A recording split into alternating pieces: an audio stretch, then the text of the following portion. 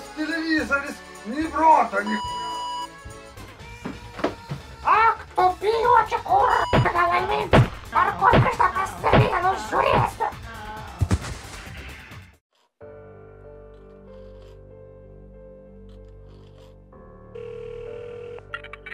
Алло!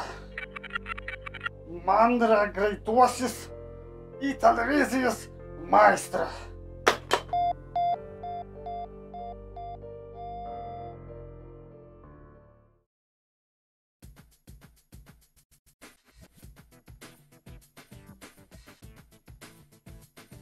Sveiki, gerbėmėjai bitplakio žiūrovai. Šiek tiek atitrūksiu nuo konsolių taisymo ir parodysiu, kaip sutaisyti televizorių. Na, pastaruoju metu gan dažnai gaunu tokius gedimus televizoriuose, tai būtent LED televizoriuose. Ir čia, kaip matote, visai gražaus modeliuko LG televizorius 2015 metų modelis. Jo problema yra tokia, kad skleidžia garsą, girdisi viskas, tik dėja nėra vaizdo. Ekranas yra vis laik toks juodas. Šis gedimas aktualus kiekviename LED televizoriuje. Na, žinoma, išskyrus OLED televizorius, ten jau visai kitokia ekrano matrica. Na, o tie ekranai, kurie yra apšviesti iš nugaros, tai yra gan dažnas gedimas. Ir štai dabar televizorius yra jungtas, nematome jokio vaizdo, tačiau jis rodo vaizdą. Žinoma, mes jo nematome, nes nėra apšvietimo iš jo nugarėlis, neveikia tiesiog apšvietimas LED diodų ir todėl ekranas juodas. Tačiau mes galime pamatyti vaizdą.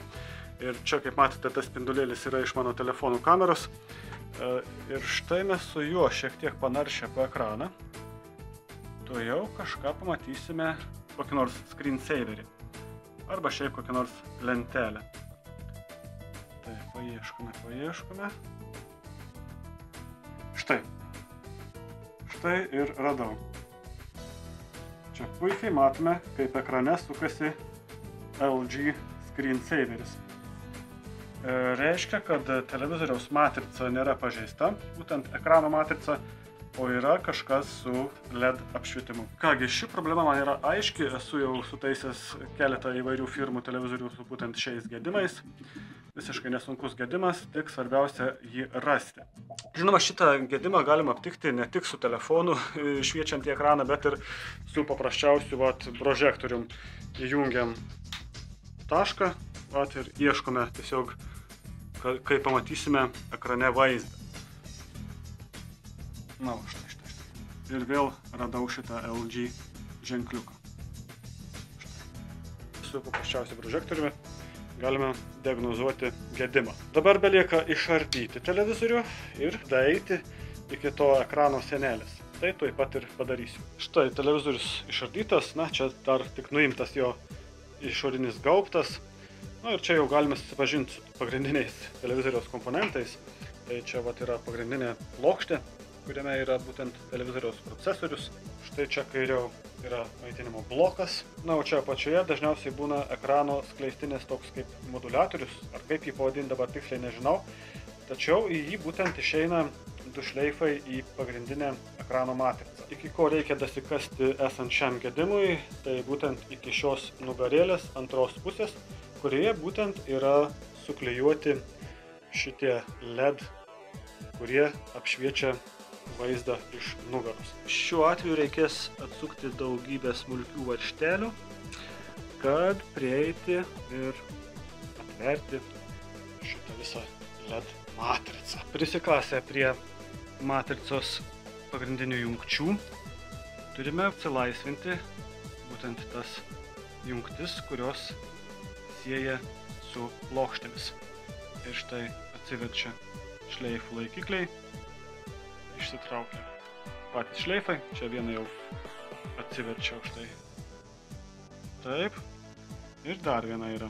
Būtent labai atsargiai reikia nepažeisti šitų jungčių, nes būtent jomis eina pagrindinis signalas į ekrano matricą. O čia štai yra tokios kojelės, kurias lengvai atlenkiame į nugarėlę. Taip.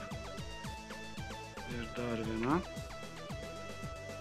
Ir pasileidžia matricos schema. Atsargiai. Štai. Dabar pakėlę visą šitą televizorių, paliekame už jo ekraną. Pagrindinę tą opiausią detalę, kurią remonto metu reikia labai saugoti. Štai čia po šitą baltą plokštę ir slepiasi LED šviestukai, kurie šiuo atveju yra sugedę, galbūt vienas, o gal net keli, ir juos būtina pakeisti. Na ir galų gale, norint prisikasti prie LED apšvietimo, reikia nuimti šitą visą plastiko rėmą. Jis laikosi tik ant tokių fiksacijų, kurias palenkim šitiek į priekį ir jos atšoka.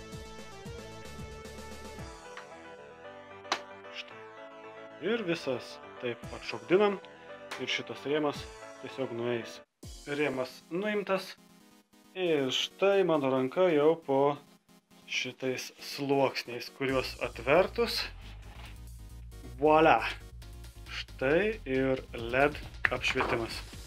Čia yra keletas sluoksnių, geriau jų nesumaišyti, tad viską paimame ir visą tą tokį sluoksnį pasidedam kur nors saugiai. Na, pasidėsiu aš kur nors va čia. Štai taip, prie pagrindinės matricos. Na, o dabar. O, įtariu, kad šitas televizorius yra skridęs nuo kokio tai stalo. Nes, kaip matote, šitie sagiukai tokie yra būtent šviesos sklaidos tokie stiklai, kurie yra būtent ant LED uždedami, štai taip, ir jie sklaido šviesą, kad ji pasiskirstytų kuo plačiau televizoriaus ekrane. Na ir štai kai kažkuris iš šitų LED yra pažeistas. Dabar teks tą išsiaiškinti. Testerio pagalba radau du pažeistus LED šviestukus. Na, o kaip juos patikrinti, galiu tuoj pat ir pademonstruoti. Štai pasimam paprasčiausią multimetrą, pasistatom pasirinkimo ant beep režimo, ant šito pypsalo. Na ir va, štai čia yra likęs sveikas LED šviestukas, tai padedam minusą prie pliuso ir pliusą prie minuso. Ir štai rodmuo. Apsukus atvirkščiai, nieko neturi rodyti. Na, o štai kur pažeistas ledas, dedam minusą prie pliuso, pliusą prie minuso. Ir štai, rodmuo visai kitoks, tačiau tai nėra dar taip svarbu, kaip jei mes sukeičiame vietomis. Jis irgi rodo rezultatą. To su LED negali būti. LED yra visiškai tas pats kaip diodas, į vieną pusę srovę praleidžia, ne. Jeigu testuojamas šviestukas praleidžia srovę į abi pusės, reiškia jis yra sugadintas ir jį reikia keisti.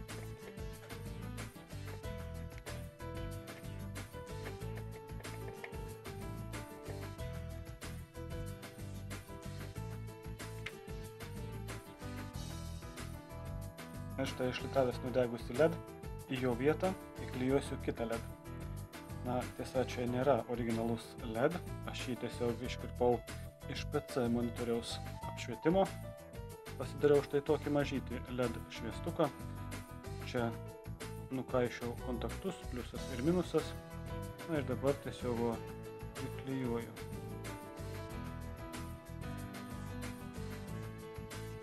Na ir ant nukaištų kontaktų užsidedu truputėlį lydmetį.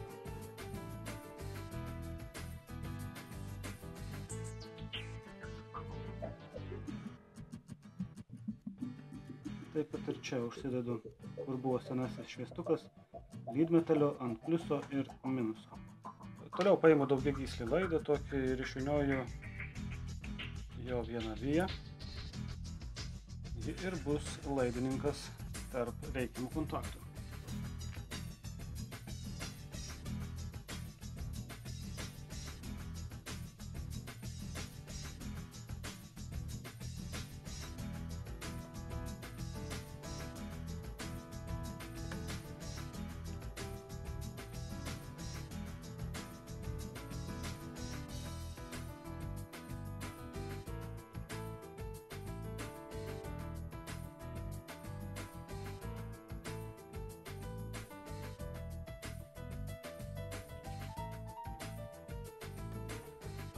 Kitoje vietoje irgi padariau visiškai tokią pačią procedūrą.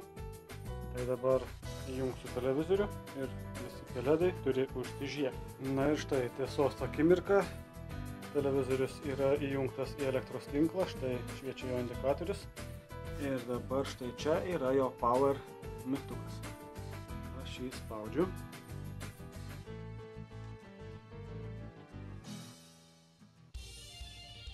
Ir volia.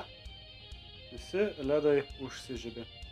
Netgi tie, kuriuos pritaikiau iš kito monitoriaus. Kągis, dabar belieka sudėti visus ekranų sluoksnius kaip buvę, suvaržyti televizorių ir eisim jį testuoti.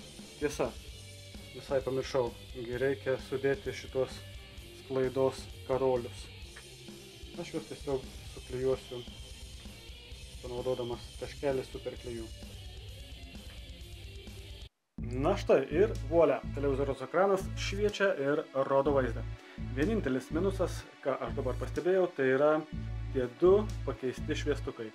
Jie šviečia žymiai ryškiau negu likusieji, todėl jie matomi. Tačiau, kai įsijungs televizijos programa, jie bus žymiai mažiau pastebimi. Tuoj tai ir pamatysime.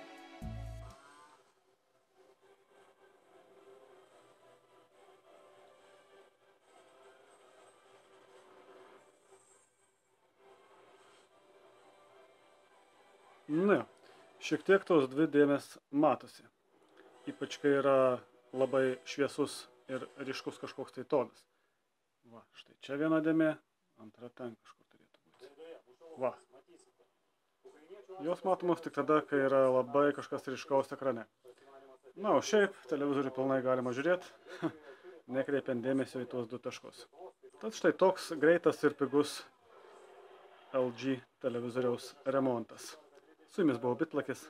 Iki.